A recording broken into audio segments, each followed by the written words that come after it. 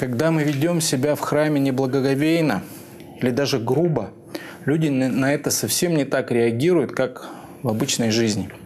В храме, нравится нам это или нет, любой из нас со стороны кажется представителем Божьим. Это почет, конечно, которого мы часто совсем не заслуживаем, но это и большая ответственность. Помню, прочитал историю жизни митрополита Антония Суровского. Одна женщина с ребенком пришла первый раз в храм. Она была в брюках и без платка. Кто-то из местных сделал ей грубое замечание.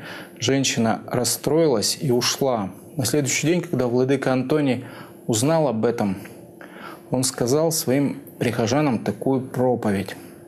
Он сказал, вчера вечером на службе была женщина, одета не по-церковному, в брюках без платка. И кто-то из вас сделал ей замечание, и она ушла.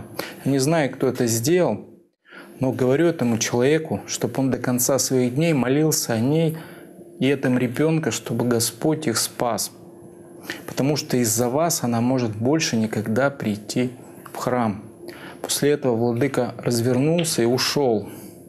Что стало с этой женщиной? Услышал ли тот человек слова, которые владыка ему обратил, это уже неизвестно.